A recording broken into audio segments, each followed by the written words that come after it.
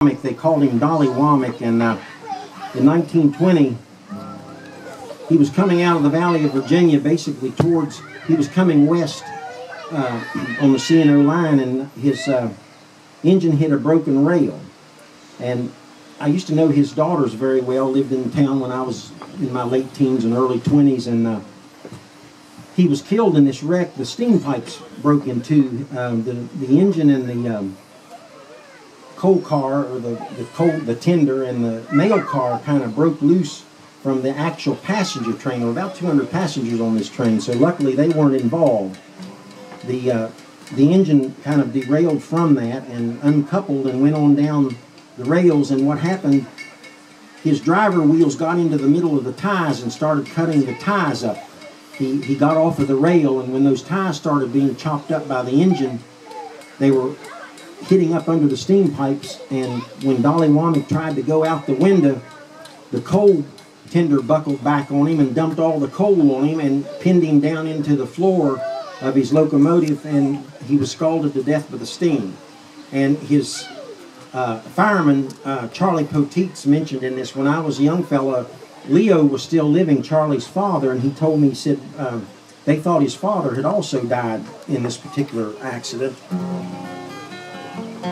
And they said that Womack, you know, had been scalded so bad by all this hot steam you couldn't tell who anyone was, you know. Um, and they didn't know that their father had survived until they literally saw him a couple of days later. They thought that he, he uh, in fact, it was reported that he had died.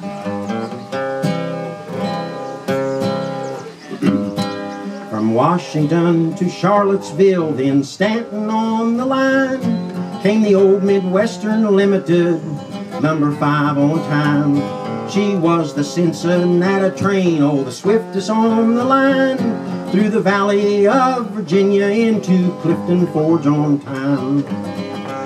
Now the engineer at Clifton Forge, Dolly Womack was his name, was there to sign the register and pull his speeding train.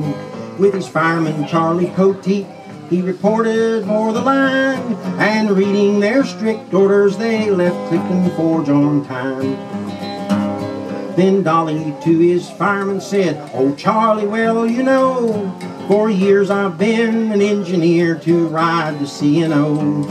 For many years I've had the run, just 25 in all. And when I blow for Covington, they'll sure to know my call. From Covington to Jerry's Run, old number five did roll through the Allegheny Tunnel with a crew so brave and bold. Then west on to the mountain state, White Sulphur Springs on time, with orders to pull over there and take the East Main Line. Now I know my engine is all right. She's a U.S. mountain kind. 137. She will get us there in time. But Dolly to his fireman said, Charlie, we're running some behind. But when I pull for the Great Bend Tunnel, I mean to be on time.